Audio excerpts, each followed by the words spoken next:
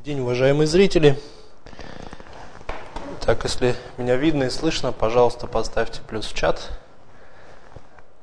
Я жду ваших сообщений.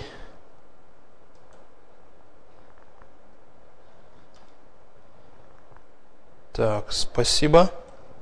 Спасибо за вашу реакцию. Зовут меня Котин Александр. 10 часов по московскому времени. Понедельник. Начинаем наш обзор, краткосрочный волновой анализ валютных пар и золота. Итак, для начала хочу сказать, что, а, как и прежде, я не даю торговых рекомендаций. Все, что я буду рассказывать, это мое видение ситуации на финансовых рынках. И, соответственно, у вас должна быть торговая система, понятная вам, для того, чтобы получать торговые сигналы и, соответственно, совершать сделки. Итак, начинаем. Начинаем с пары евро-доллар. Итак, сейчас расположимся поудобнее. А, если какие-то вопросы у вас появятся, вы можете мне писать их в чат. Но желательно после того, как я закончу обзор по плану. И дальше мы уже перейдем к ответу на ваши вопросы. У нас есть 30 минут времени. Можем начинать. Евро. Евро-доллар. Обратите внимание на то, что мы подошли к минимумам от 6 или от 7, правильно сказать, от 7. А, так, что это такое? М?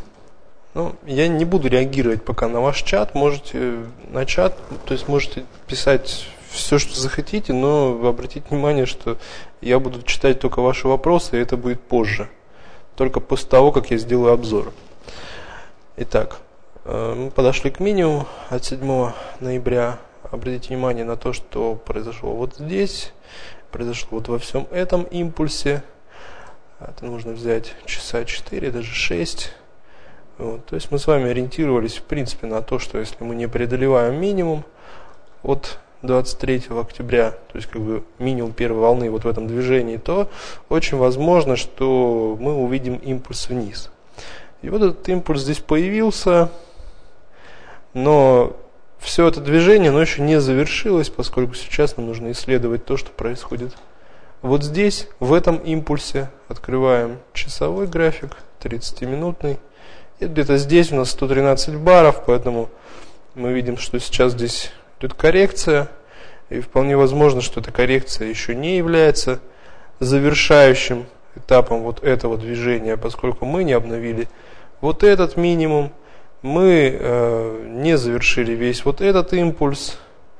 И очень, очень вероятно, что эта коррекция пока продолжится, но я не исключаю того, что после ее завершения мы еще будем идти вниз. То есть еще будет падение. Итак, э, британский фунт. Здесь аналогичная картина, только немного отличается. Здесь у меня разметка. Вопрос в том, что в этом импульсе мы видим здесь на дневном графике 94 бара. А, исследуем импульс последний, то есть вот этот вот импульс. Смотрим на 4 часах. В этом импульсе на 4 часах 113 баров, то есть это в данном случае правильный масштаб для анализа. Но э, мы видим как один переворот через ноль, второй и ожидаем еще обновление минимума от 14 числа. Тогда мы скажем, что вот этот импульс весь завершился, и, соответственно, будем, опять же, обратить внимание, что мы даже не подошли вот сюда, вот к этому минимуму от э, 7 ноября. И здесь сформировалась коррекция, после которой была попытка уйти вниз. Ну, эта попытка еще, я думаю, будет, э, так как мы видим, что вот этот весь импульс не завершился, Возможно, даже не завершился и вот этот импульс, который мы видим на часовом или там на двухчасовом графике. Вот этот. Весь импульс, скорее, еще не закончился. То есть это, скорее всего, только третья волна, и в ней четвертая. А, вот в этом во всем движении. Поэтому потенциал здесь для дальнейшего укрепление доллара по отношению к британскому фунту есть. А, швейцарский франк, картина аналогична евро-доллару. Тут даже, наверное, и рассказывать смысла нет, поскольку мы также упали вот на этот максимум. То есть в зеркальном отражении только лишь от 23 октября. И у нас появился еще один импульс, который вполне возможно, что и является пятой волной вот в этом движении. А вот это, в свою очередь, весь импульс, который является пятой волной уже вот в этом импульсе большего порядка, который мы видим на дейли. Вот так. То есть, если мы опять же будем смотреть, что происходит в последнем вот этом движении, то на 30-минутном графике также есть, существует вероятность появления коррекции, поскольку опять же видно, что вот данное движение, оно в виде полноценного пятиволнового импульса представлено. Это, скорее всего, означает, что мы можем уйти в какую-то более-менее глубокую коррекцию, вот именно в, во внутридневном диапазоне. Так. Идем дальше. Австралийский доллар. А вот австралийский доллар нам преподнес сюрприз. В виде такого вот импульса. Видно, что даже на дневном графике здесь такая вот бычья свеча появилась. Но надо изучить все-таки, что происходит внутри этого движения. Если там завершения и какие-то, может быть, это просто какие-то маневры здесь происходят. Так, давайте смотреть. Вот если мы сказали, что это импульс, это коррекция, то вполне вероятно ожидать новый импульс вниз. Тогда нужно исследовать вот это движение и посмотреть, что оно из себя представляет. Является ли вот это движение полноценным пятиволновым импульсом. Для этого мы его открываем на 30-минутном графике. Здесь 152 бара и совершенно точно, четко и ясно видно, что данное, данное движение импульсом не является. Но при этом мы не обновили минимум от 7 ноября. Что означает, что скорее всего либо в данном случае затянулась вот эта вот коррекция вся, на, которую мы видим на 4 часах, либо данное, вот, данное движение является а, коррекционной волной вот в этом импульсе. Для этого мы берем вот так. Обратите внимание. Вот сюда. Сейчас вот я сделаю разметку, будет понятно, о чем идет речь. Те, кто постоянно смотрит мою аналитику, наверное, понимают, о чем я хочу сказать. О том, что в данном случае, несмотря на то, что по свечному графику вы видите, что якобы вот это движение, оно резко пробивает вот эти минимумы, и никак не может быть 1, 2, 3, там 4 и ожидать еще одного импульса вниз. Но на линейном графике этого не видно. То, что тут есть какой-то небольшой заскок, это нормально. Нормальная ситуация да, для того, чтобы критерий для четвертой волны вот в этом движении во всем здесь сохранялся. Поэтому я не исключаю того, что здесь может появиться новый импульс вниз, который уже будет достраивать все вот это движение. Вот как раз таки на часовом графике мы видим 123 бара, видим, где у нас находится максимальная движущая сила, и видим, где у нас идет второй переворот через ноль. Потому что если вот 2 часа будем смотреть, потом уже здесь пока мало баров, и вот этот переворот через нулевую линию, он сохранится. Поэтому пока вот я без, э, скажем так, если тут будет еще попытки уйти вверх, то тогда вот эта разметка, она естественно поменяется. А вот здесь, скорее всего, стоило бы ожидать еще импульса вниз. Японская иена. На дневном графике мы видим, как нарастает движущая сила. Нам нужно анализировать последний импульс. И в этом импульсе нужно отметить то, что на 4 часах, даже вот уже на 6, поскольку на 4 баров много, а в данном случае их 110, то есть нужное количество для анализа, здесь назревают возможности для достаточно такой глубокой коррекции, поскольку у нас есть и разворотная модель здесь, и вот данный импульс, он скорее всего тоже завершился, хотя я бы пока очень сомневался в этом, потому что надо исследовать еще и то, что вот здесь произошло, вот в этом движении от 10 ноября. Давайте это посмотрим. Давайте посмотрим. А вот тут, а вот тут все бы хорошо, да, да не все. Обратите внимание на то, что мы с вами тогда выделяли, а, по-моему, в пятницу выделили вот этот вот максимум от а, 17 ноября. И сказали, что вот здесь полноценный пятиволновой импульс. После коррекции был еще один полноценный пятиволновой импульс. Да? Вот давайте посмотрим внутрь этого движения. И там будет видно, что оно из себя представляет. 150 баров. Вот. Так, где минимум? Сейчас посмотрим, где минимум, и будет понятно. 115.45, 115.46. Минимум все-таки вот тут вот. Вот. Но тем не менее, скорее всего, это полноценное пятиволновое движение, даже несмотря на то, что это не очевидно, и тут один переворот через ноль, через нулевую линию. Хотя, может быть и по-другому. Может быть и так, что в этом вот в этой волне, вот сейчас только четвертая волна, поскольку здесь ну, четко всплеск виден, второй и, соответственно, четвертая, и очень возможно, что мы еще будем вот эти максимумы обновлять. Несмотря на то, что вы можете открыть daily и сказать, что да, вот здесь вот разворотный разворотная модель, она ничего не значит в данной ситуации, поскольку нужно структуру импульса смотреть, понимать ее и, соответственно, понимать, что вот в этом импульсе, что вот в этом импульсе, тут, скорее всего, никаких признаков для завершения нет. Вот еще раз, смотрите, это два часа, нет признаков для завершения. Это часовой график, где вот отсюда мы берем. Опять нет признаков для завершения. Поскольку никаких дивергенций, ничего. Вот переворот через ноль. И этот, опять же, вот это вот, скорее всего, только коррекция. Она, опять же, не пробивает вот этот максимум. 117.07. Это, скорее всего, будет означать, что мы увидим еще один импульс вверх. Если в пределах вот этого максимума здесь не разовьется никакого нисходящего движения, то очень возможно, что прямо на этой неделе, может сегодня, даже завтра, мы пойдем обновлять вот эту вершину снова.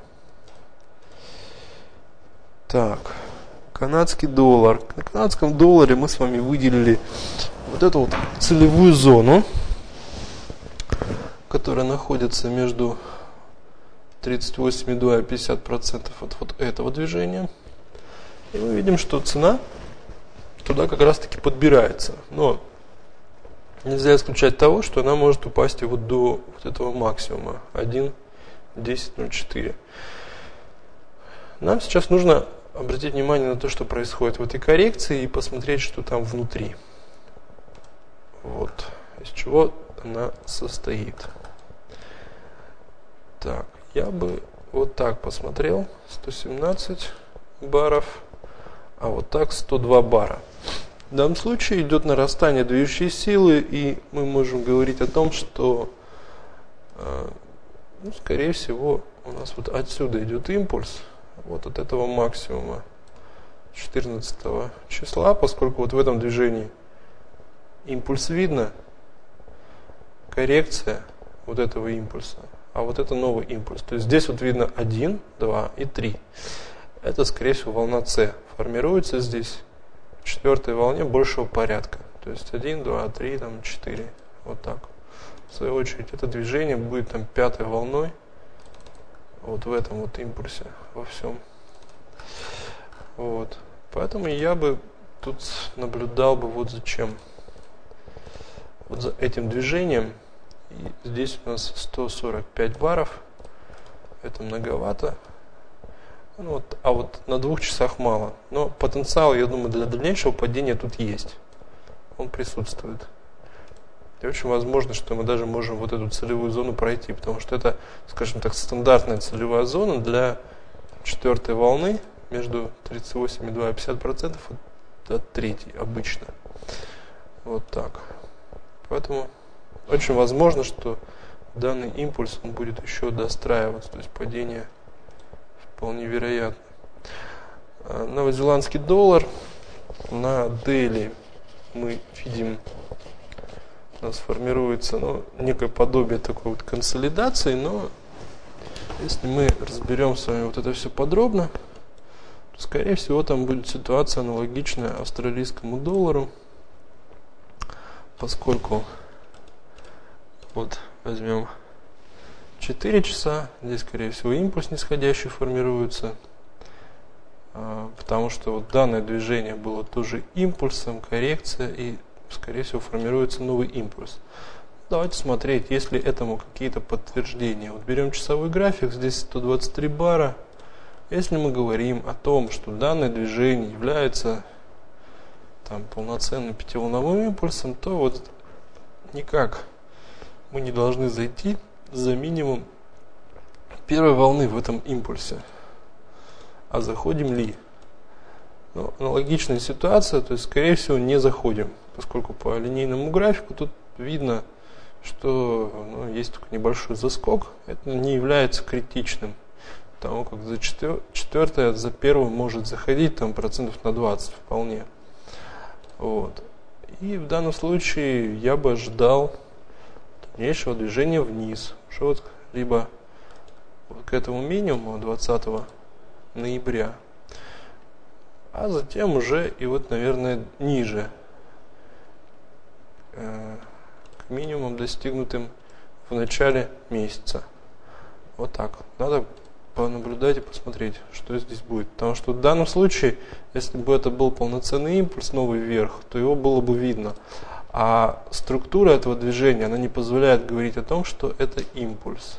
Но это движение импульсом полноценным не является. Так, золото. Тут по-прежнему ситуация сохраняется. И в отличие там от евро и франка, тут нет исходящего движения, но надо сказать, что критерий для четвертой волны, он по-прежнему сохраняется. Я так буду говорить до тех пор, пока мы не пробьем вот этот минимум. И вот тогда мы скажем, что это будет что-то другое. Но пока критерий для четвертой волны сохраняется здесь. Здесь у нас 143 бара на 4 часах. Замечательно. То есть это как раз таки говорит о том, что это может быть 1, 2, 3, 4 и вполне вероятно, что мы можем увидеть еще один импульс вниз. Да, это вот так надолго затягивается. Таких ситуаций я видел множество. Поэтому надо смотреть, что тут видно четко, что это один импульс, это второй импульс. И надо смотреть уже, что в этом импульсе происходит.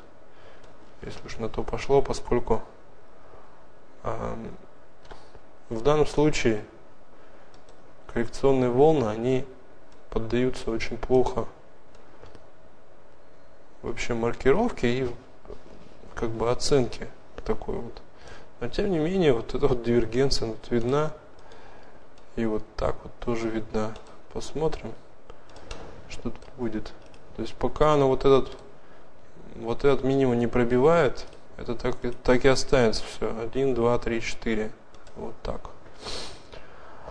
Так. Открылось, открылись торги по паре доллар-рубль. Мы с вами говорили о том, что очень возможно тут формируется еще один импульс коррекции.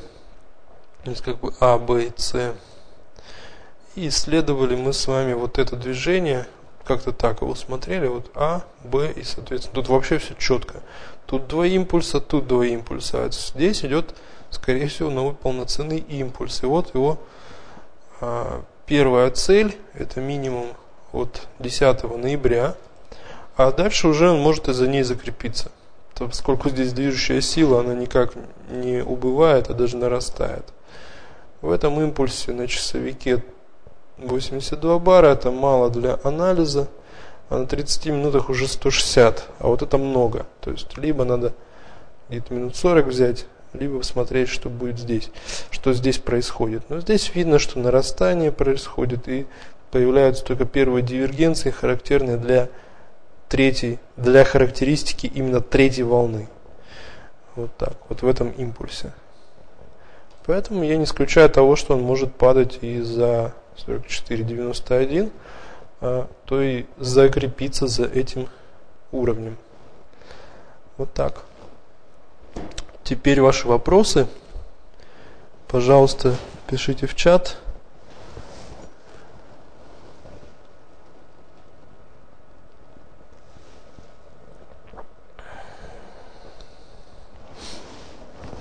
Евро-иена. Евро-иена. Замечательная пара. так. Открываем. Открываем, смотрим. Сейчас я ее найду только. Я ее сегодня уже смотрел. Что там происходит. Там интересная ситуация.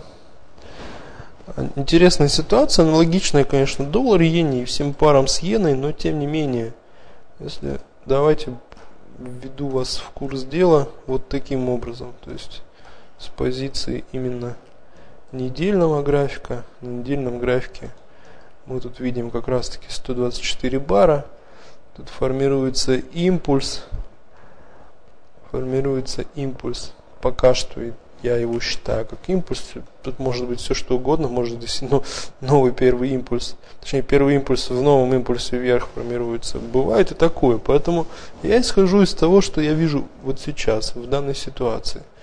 И не делаю никаких дальнейших выводов. Переходим на дейли. На дейли обратите внимание, что у нас тут было два импульса вниз. Очень хорошо они видны где вот она, четвертая к первой подошла как раз таки вот в этом движении. Я их разметил как обычно.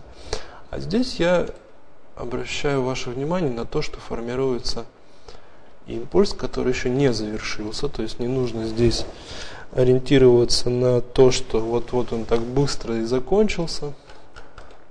Вообще, надо сказать, что суета это не лучшее качество трейдера – а, так, вот здесь 107 баров.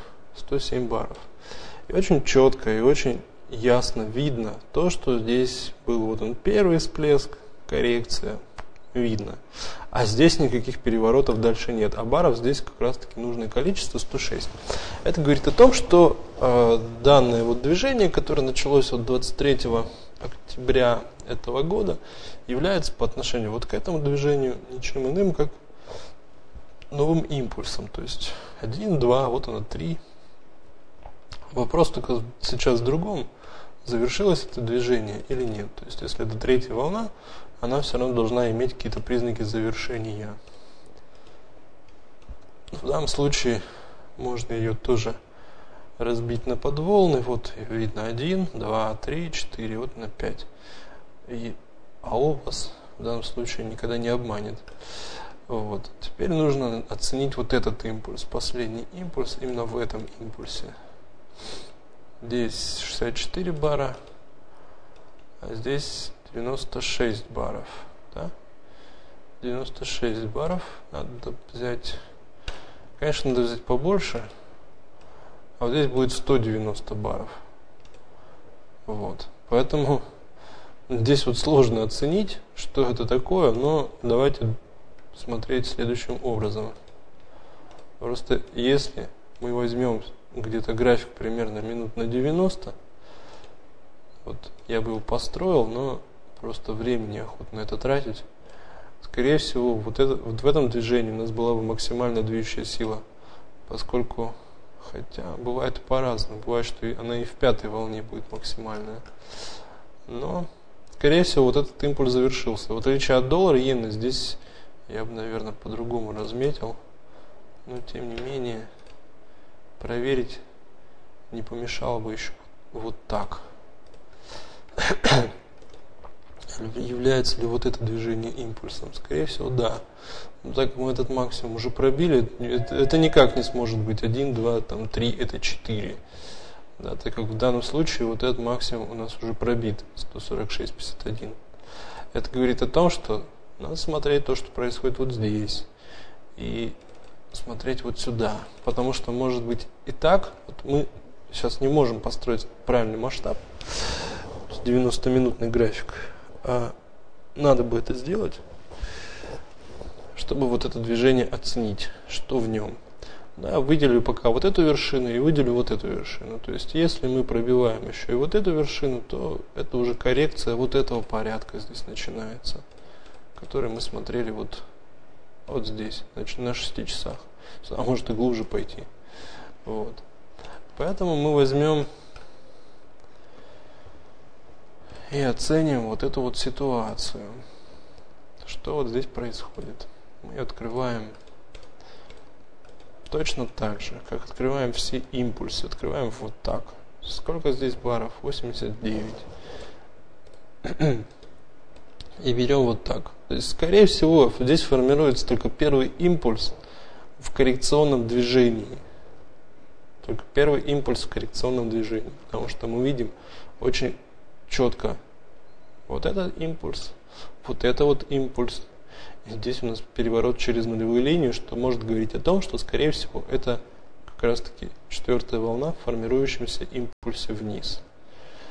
Вот так. Поэтому я бы пока не стал здесь делать каких-то выводов и ожидал бы достаточно глубокой коррекции здесь, прежде чем весь вот этот импульс будет завершаться, потому что вверх мы еще не закончили движение, все вот это вот.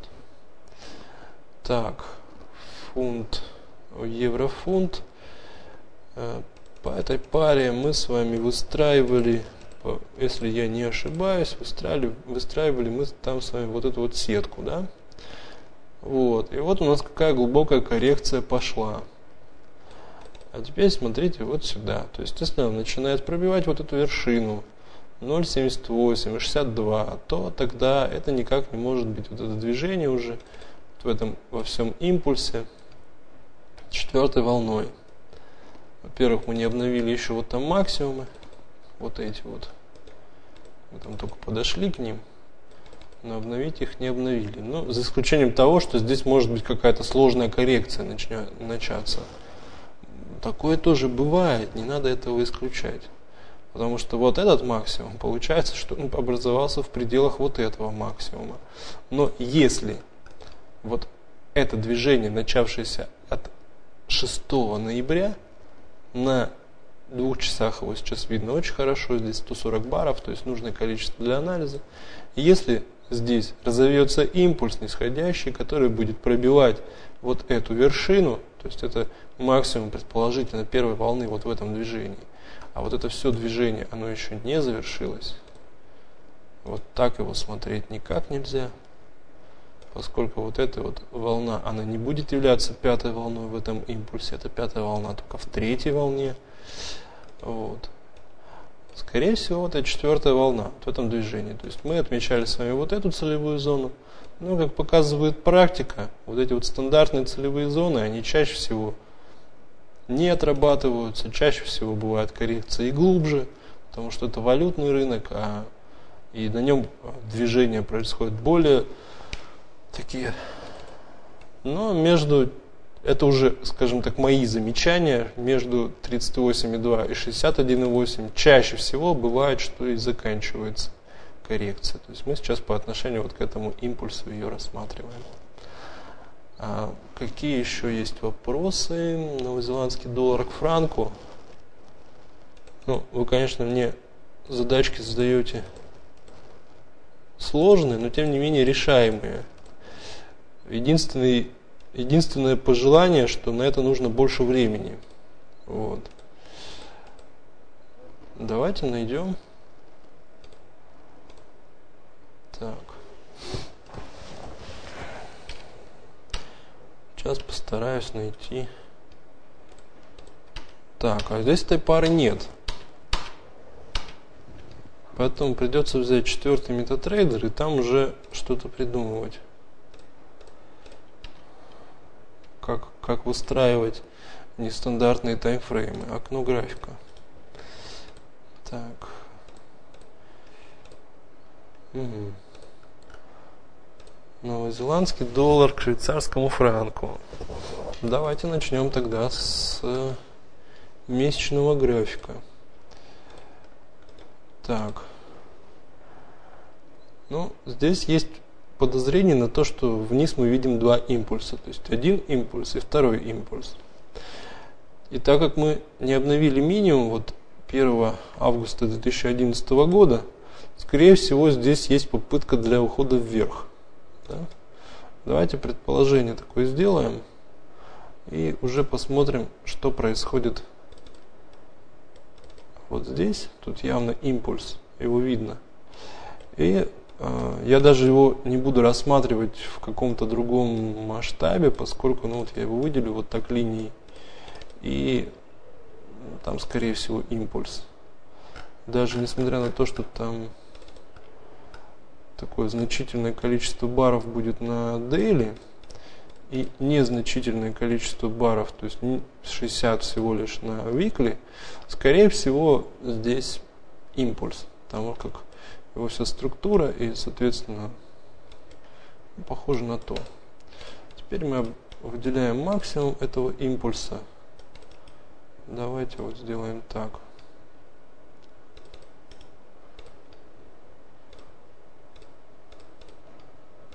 Вот так. Ну и, соответственно,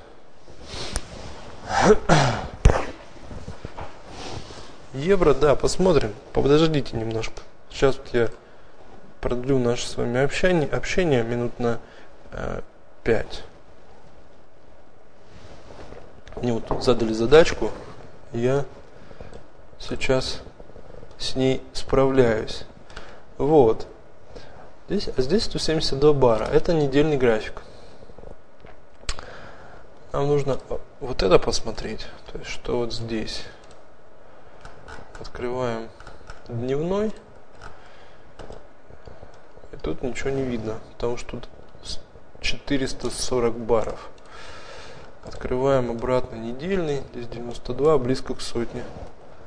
Но я бы не сказал, что это импульс полноценный поскольку я его структуру не могу увидеть в другом, скажем так, измерении. Тогда давайте вот это смотреть. Что вот это такое?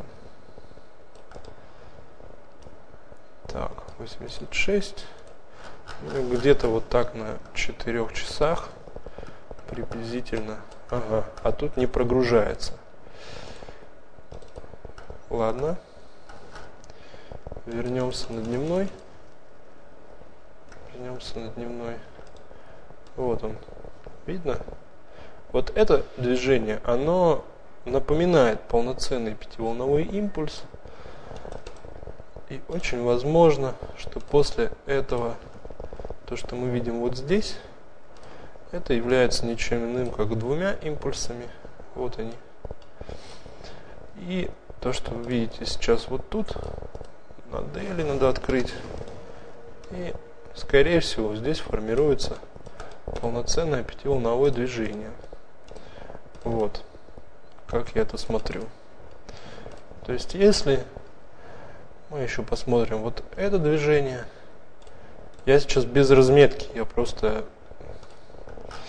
не, не буду каждому импульсу присваивать какой-то номер там и так далее. Ну вот, вот она структура видна. Да? То есть, если мы в пределах вот этого минимума, вот этот импульс завершается, то, скорее всего, здесь можно будет рассматривать возможности для продаж. Заходим на час. Нам нужно еще вот это движение посмотреть. Вот.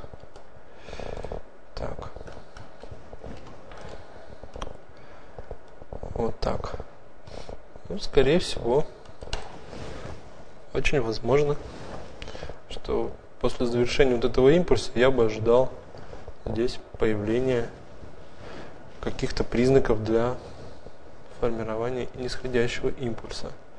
Но пока в этом импульсе завершения не вижу, поэтому пока под вопросом. Но так как времени мало, я бы, конечно, разобрал его более подробно, но пока оставим. И по евро вкратце – обновили мы, а точнее подошли мы к минимуму от 7 ноября на дейли. А, внутри дня у нас формируется импульс, вот он на 4 часах, который, видите, не, не пробил вот эти минимумы. На 6-часовом графике это видно очень хорошо. Вот, остановилось в пределах этих минимумов. Это означает, что здесь импульс, скорее всего, будет формироваться, как бы завершающий вот это движение. А внутри там признаков завершения нет. То есть, скорее всего, в течение там, дня сегодняшнего, завтрашнего может развиться какая-то коррекция, после которой стоило бы ожидать еще движения вниз. Поскольку надо вот этот импульс разбирать, а, вот от этого максимума 19 ноября, и здесь э, признаков завершения пока нет. Вот так. На этом у меня сегодня все. Мы и так немножко уже затянули по времени. Я благодарю вас за внимание, а также хочу напомнить, что есть адрес электронной почты икатсобакальпари.ру. Если какие-то вопросы, темы письма для Александра, Зовут меня Котин Александр. Я аналитик официального партнера Альпари а, в Екатеринбурге. И благодарю вас за внимание. Хочу пожелать вам хорошего дня, успешных сделок и встретимся завтра. До свидания.